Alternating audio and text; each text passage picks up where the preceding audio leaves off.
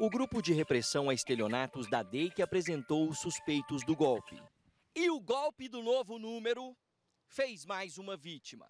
Aliás, esse é o golpe que mais tem sido dado aí na praça. Dessa vez, uma idosa de 69 anos que mora em Jataí, no sudoeste do estado de Goiás. Ela teria recebido a chamada por um aplicativo de mensagens. No caso, textos. Nem áudio, nem vídeo. Nesses textos, nessas mensagens, uma pessoa se passava por filho dessa senhora, pedindo ajuda. Estava em uma situação difícil. Ela, sem desconfiar de nada, não fez uma ligação para ouvir a voz do filho ou uma chamada de vídeo, porque esse recurso já existe há um bom tempo, para ver se realmente era o filho. E foi aí que ela errou. Ao não fazer isso, ao atender aquelas mensagens escritas, achando que era o próprio filho pedindo ajuda, ela começa a fazer transferências bancárias para os criminosos. Foram várias transferências, cinco na verdade, que totalizaram o valor de quase 85 mil reais. Não satisfeitos, no outro dia, os bandidos novamente entram em contato. Dessa vez eles pedem 39 mil reais.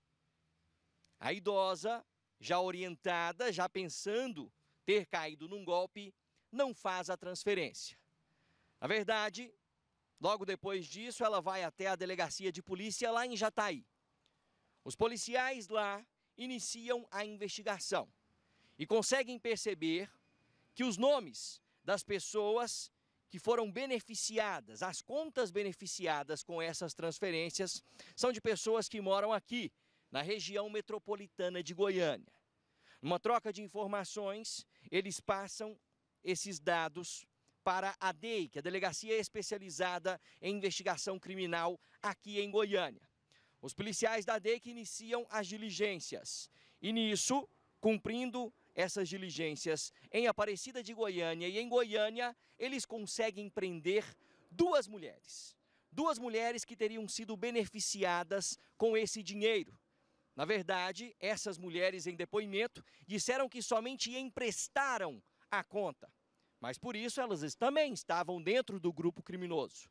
De posse de novas informações, a polícia ainda consegue descobrir um homem que foi beneficiado realmente pelo dinheiro e dois agenciadores, que são aquelas pessoas que procuram pessoas com contas para que sirvam de laranjas do golpe.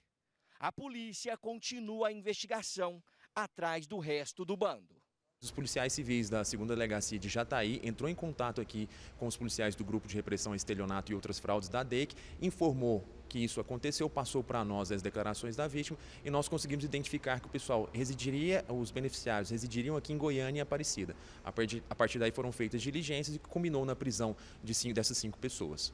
O delegado da especializada em crimes cibernéticos reforça o alerta. O carro-chefe dos golpes tem sido o golpe do novo número, né? Porque é um golpe fácil de ser aplicado, o criminoso ele não se expõe a nenhum tipo de risco, né? Ele não tem que estar ali na rua com arma, é, pronto para ser abordado pela polícia ou para uma troca de tiros. Então ele do conforto, da, às vezes até da sua cela onde ele está preso, é, da sua casa, ele aplica esse golpe bastando ter uma linha telefônica e uma internet, né? Então ele basta ele é, conseguir uma foto de alguém e, e, o nome dessa pessoa que ele vai conseguir. Ele é muito fácil hoje em dia encontrar qualquer tipo de informação. Ele vai saber os vínculos familiares dessa pessoa, os vínculos de amizade, os vínculos trabalhistas e ele vai entrar em contato com é, essas pessoas relacionadas à vítima que ele escolheu e, e, fazer pedidos como se fosse essa pessoa, pedido de pagamentos, favores, transferência de dinheiro, pedir para que pague algum boleto.